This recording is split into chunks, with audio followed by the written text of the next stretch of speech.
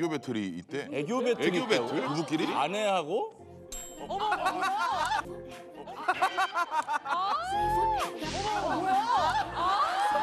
바지 또꽉 껴. 아 바지 좀 큰 거 좀 입어. 어, 그 바지 아니야, 오늘? 터진다. 뭐 하는 거야 이거?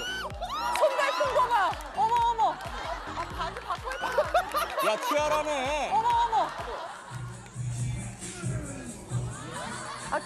귀여워. 귀여워 둘이. 우리 재밌게 논다. 좋았어. 얼굴이 다섯 배네. 다섯 배네. 아니 앞에서 찍었으니까 아이 형 다섯 배가 아니라 여덟 배야.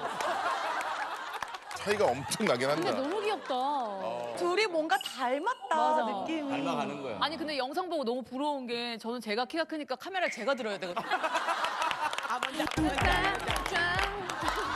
귀엽잖아. 아, 그게 너무 부럽네. 누가 제안을 아내분이 먼저 이렇게 찍자고.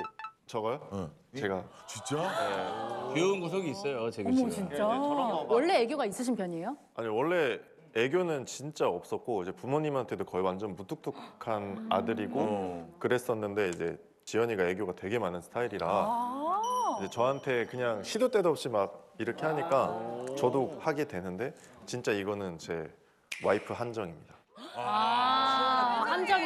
아. 와이프 한정이면은 와이프 보고 있을 거 아닙니까 이 방송을. 아, 지금 집에 있어요. 어, 아이가 이제 지금 보고 있겠죠. 카메라를 보시고 애교 한번. 아, 지연이만을 위한. 지연이만을 위한. 아 이게 음, 음, 우리 어, 안 볼게. 어, 보지 마, 다른 거야, 다른 거. 보지 마, 보지 마. 항마력 테스트. 여보 이따 맛있는 거 해줘. 여보 이따 맛있는 거 해줘.